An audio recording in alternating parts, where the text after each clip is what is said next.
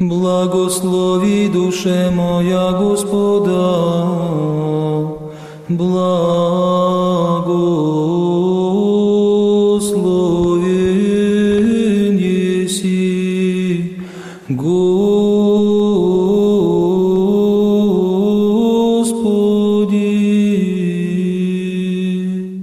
Здравствуйте, дорогие братья и сестры! Сегодня в понедельник за богослужением читается Евангелие от Матфея, глава 23, стихи с 13 по 22. Послушаем это евангельское зачало на церковно-славянском языке.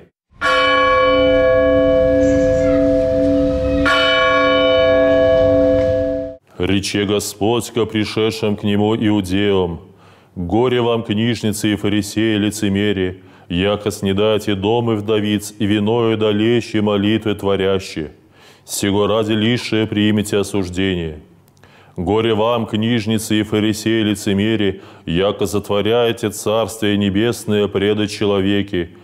Вы бо не входите, не входящих оставляете в нити». Горе вам, книжницы и фарисеи, лицемери, яко приходите море и сушу сотворите единого пришельца, и когда будет, творите его сына гиены, сугубиша вас. Горе вам, вожди слепи и глаголющие, и же аще клянется церковью ничесо же есть, а и же клянется златом церковным должен есть.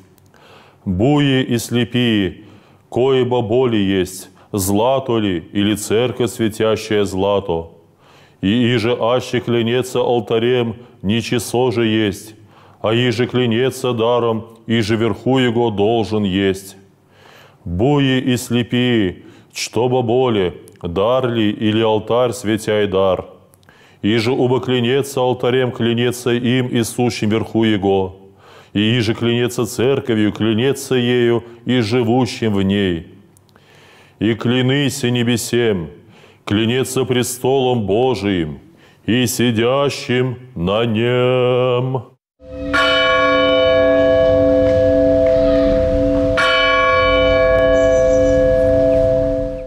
Прочитаем вместе этот текст в синодальном переводе. «Сказал Господь пришедшим к Нему иудеям, «Горе вам, книжники и фарисеи, лицемеры, что затворяете Царство Небесное человеком, ибо сами не входите и хотящих войти не допускаете. Горе вам, книжники и фарисеи, лицемеры, что поедаете дома вдов и лицемерно долго молитесь, зато примите тем большее осуждение. Горе вам, книжники и фарисеи, лицемеры, что обходите море и сушу, дабы обратить хотя одного, и когда это случится, делайте его сыном гиены вдвое худшим вас. Горе вам, вожди слепые, которые говорите, если кто поклянется храмом, то ничего, а если кто поклянется золотом храма, то повинен. Безумные и слепые, что больше, золото или храм, освящающий золото? Также, если кто поклянется жертвенником, то ничего. А если же кто поклянется даром, который на нем, то повинен. Безумные и слепые. Что больше, дар или жертвенник, освящающий дар? Итак, клянущийся жертвенником клянется им и всем, что на нем. И клянущийся храмом клянется им и живущим в нем и клянущийся небом клянется престолом Божиим и сидящим на нем. Строки сегодняшнего евангельского чтения, дорогие братья и сестры, содержат поистине суровые слова Спасителя, обличающие книжников и фарисеев. «Горе вам!» Так начинает Господь свою речь, обращенную к привилегированному классу иудейского общества. Обращение «горе вам» в греческом звучит как «уэ», и это слово трудно перевести, поскольку оно обозначает не только гнев, но и печаль. В этом слове не только дух жестокого осуждения, но и атмосфера острой трагедии.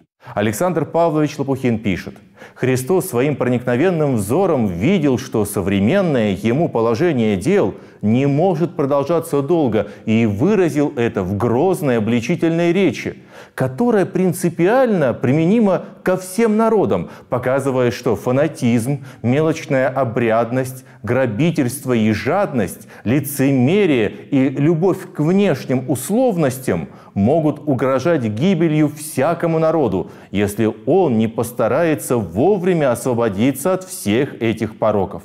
Греческое слово «ипокрите» обозначает лицемера или притворщика, скрывающего в свою подлинную натуру. В глазах Христа книжники и фарисеи были притворщиками. Их представление о религии сводилось к внешнему показному соблюдению норм и правил закона, а в сердцах их были горечь, зависть, гордыня и высокомерие. Поэтому Господь и указывает на фарисеев и книжников, говоря, «Затворяйте Царство Небесное человеком, ибо сами не входите, и хотящих войти не допускаете». Преподобный Иустин Попович так рассуждает о словах Спасителя. Чем затворяют фарисеи Царство Небесное от людей? Своим лицемерием. Ибо уча людей своей жизнью, кажущемуся благочестию, они им затворяют врата в Царство Небесное, в которое входят единственно истинным благочестием, то есть настоящей жизнью о Боге и в Боге. Человек становится достойным Царства Небесного – когда он на земле живет по закону неба, объявленному Господом нашим Иисусом Христом. Но фарисеи и книжники, противостоя Христу и Его Евангелию, сами не желали войти в Царство Небесное и другим иудеям чинили препятствия. Обличая их за оскорбление, обиды и хищение имущества бедных и беспомощных вдов и за мнимую набожность, проявляющуюся также и в долгих молитвах на показ – Господь осуждает религиозную элиту иудейского общества за их коварное миссионерство. «Горе вам, книжники и фарисеи, лицемеры, что обходите море и сушу, дабы обратить хотя одного. И когда это случается, делайте его сыном гиены вдвое худшим вас». Святитель Иоанн Златоуст замечает, здесь Христос предъявляет и книжникам, и фарисеям два обвинения – во-первых, в том, что они ничего не могут сделать для спасения многих, и что им стоит великого труда привлечь к себе хотя одного человека. Во-вторых, в том, что они совершенно не родят о сохранении того, кого приобрели, и не только не родят, но еще становятся его предателями, когда порочной своей жизнью развращают его и делают еще хуже. Горе вам, вожди слепые, которые говорите, если кто поклянется храмом, то ничего, а если кто поклянется золотом храма, тот повинен, сокрушается Христос.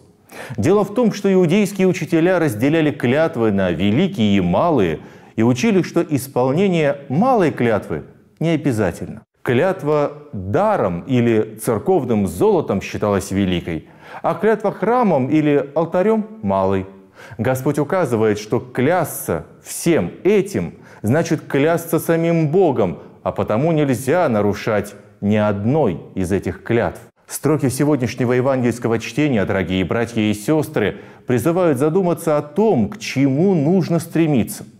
Господь учит нас не казаться перед людьми праведными или благочестивыми, а быть такими на самом деле – то есть ждет от нас сердца искреннего и открытого, наполненного истиной, верой и милосердной любовью к ближнему. Помогай нам в этом, Господь. Благослови душе моя Господа, благо